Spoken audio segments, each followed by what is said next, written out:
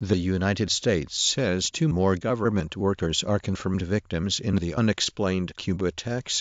The State Department is increasing the official. The United States says two more government workers are confirmed victims in the unexplained Cuba attacks. Washington, app.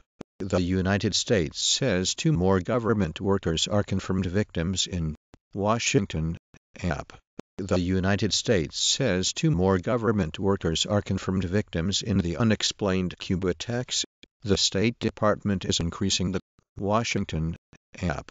The United States says two more government workers are confirmed victims in the unexplained Cuba attacks. This image provided by Chris Allen shows the view in Havana, Cuba.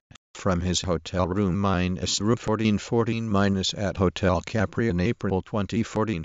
Allen's phone started. The United States says two more government workers are confirmed victims in the unexplained Cuba attacks. Washington, app. The United States says two more government workers are confirmed victims in the unexplained Cuba attacks.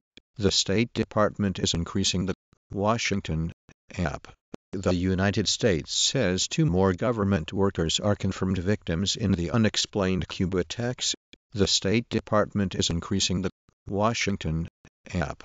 The United States says two more government workers are confirmed victims in the unexplained Cuba attacks. Washington app.